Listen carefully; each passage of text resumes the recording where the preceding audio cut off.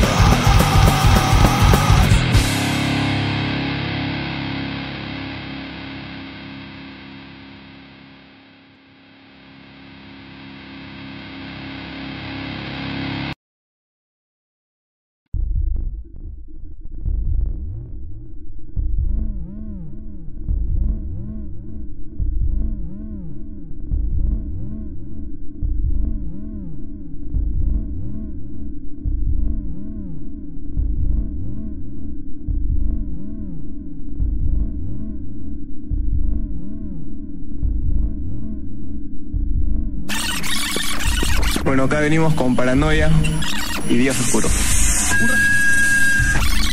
El miércoles 11 de mayo, eh, la banda Paranoia, junto a Demencia, Unidad 4 y Reactor. Muy pronto en Trujillo, la banda Paranoia va a estar ahí, así que atento gente de Trujillo, que sé que tienen buenísima vibra con esta extraordinaria banda, extraordinaria banda limeña Paranoia. ¿Cómo es que nace Paranoia y para qué nace Paranoia? Paranoia se va a presentar este día martes 24 de abril en el Centro Cultural Noche presentando su videoclip, el tema Días Oscuros. Para seguir difundiendo más música del grupo Paranoia, lo dejamos con algo de su producción Días Oscuros, el pedido Borrego. Gracias por el apoyo. Al día siguiente, el sábado 5, en Arequipa van a estar tocando Paranoia, Desacuerdo y ARZ. El viernes 24 a las 10 de la noche en el Averno va a estar la banda Paranoia presentando su disco compacto Días Oscuros junto a Caos y Desorden. Días Oscuro que recientemente acaba de lanzarse, estarán también Demencia de Trujillo, Scan, Caos y Desorden y y será el viernes 24 a las 10 de la noche en el Averno. Paranoia, un grupo que se ha estado moviendo bastante bien por todo Lima, a nivel de publicidad, pitches pequeños, etcétera. Y que está tocando sobre todo bastante y ha sacado un disco y una máquina titulada Días Oscuros, está dando mucho que hablar por toda la Gran Lima, mucho que hablar por toda la Gran Lima, mucho que hablar por toda la Gran Lima, mucho que hablar por toda la Gran Lima, hablar por toda la Gran Lima, hablar por toda la Gran Lima, toda la Gran Lima, toda la Gran Lima.